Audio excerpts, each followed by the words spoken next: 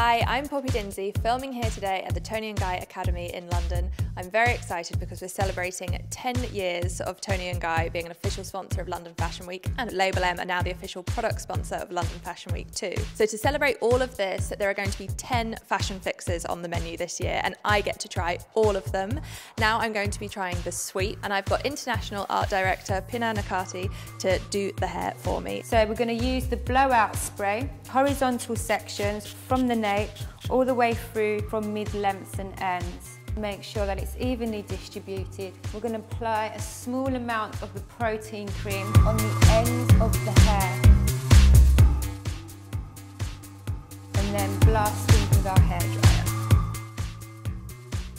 Now that the product's dried in, work our sections into the hair to create the look of the sweep.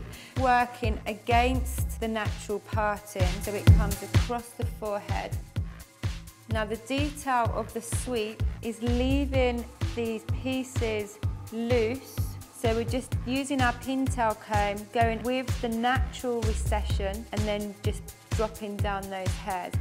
So now we're going to work on the heaviest side of the look, which is the focal point.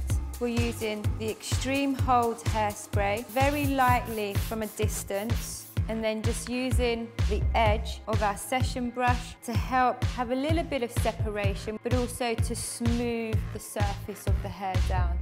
So here we have the completed look of the sweep, focusing on a natural texture, separation and volume. Thank you very much, Pinar. I absolutely love this look.